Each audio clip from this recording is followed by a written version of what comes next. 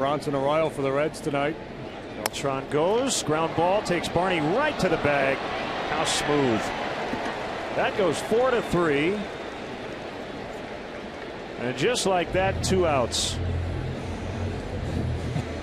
And whereas Shane Robinson went out of his way to try to upend Darwin Barney last night, Carlos Beltran with no effort whatsoever to upset that double play.